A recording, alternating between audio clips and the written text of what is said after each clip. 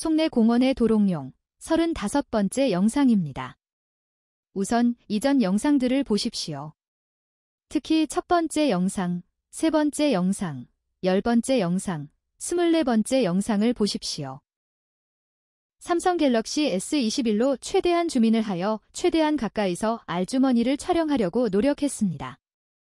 해상도는 8K UHD로 설정했습니다. 스마트폰을 알주머니에 매우 가까이 들이대야 하기 때문에 멀리 있는 알주머니는 찍을 수 없습니다. 내년에 이런 식으로 알주머니들을 찍어서 방금 낳은 알주머니부터 유생이 알주머니를 떠나기 직전까지 모든 단계를 담을 수 있도록 노력해 보겠습니다. 그러기에는 올해는 이미 늦은 것 같습니다.